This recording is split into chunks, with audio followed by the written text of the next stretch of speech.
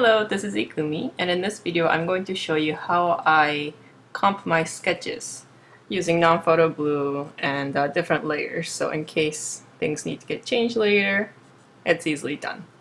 And in our profession, the great thing is that we work really closely with the researchers and experts. The bad news is that they're sometimes really particular, so uh, you gotta get the illustrations just right. So um, the benefits of having illustrations in different layers is that if something needs to be moved just a little bit, you don't have to erase everything.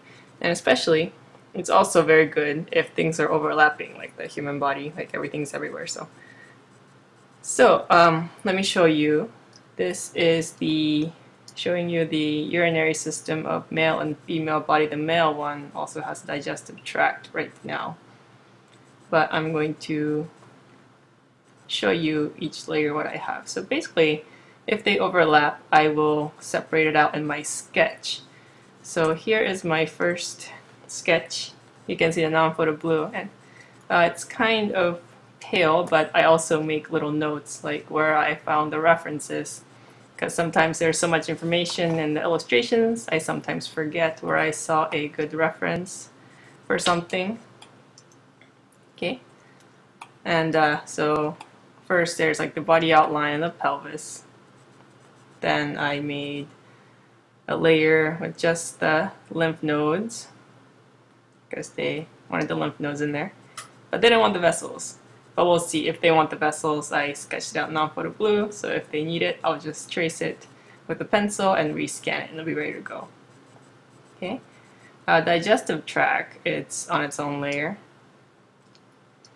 and also the kidneys, the female kidneys, the male kidneys. Okay, so this way, if I want, if the expert says like, well, these kidneys are a little bit high, and I think they are, you can just very easily say tap, tap, tap on the, the move button right here on the top right corner of the toolbox and edit as necessary okay? Or if they have to be a little bigger or if they want them disease looking or anything uh, the, the kidneys since it's on a separate layer it's really easy to edit. So if there's something inside or something overlapping I go ahead and uh, separate them out.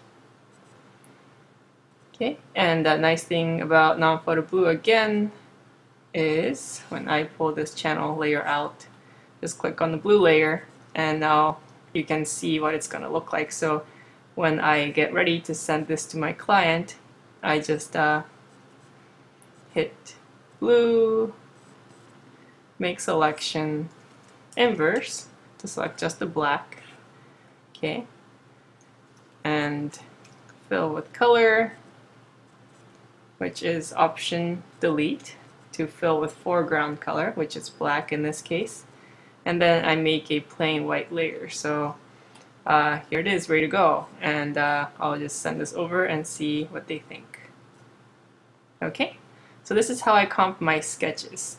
And I keep them separated until uh, pretty much well, I keep them separated even when I do color. I sometimes keep the sketches separate. So if I want to reuse the kidneys later I can just pull them out or the pelvis vice versa Okay, so this is how I comp my sketches.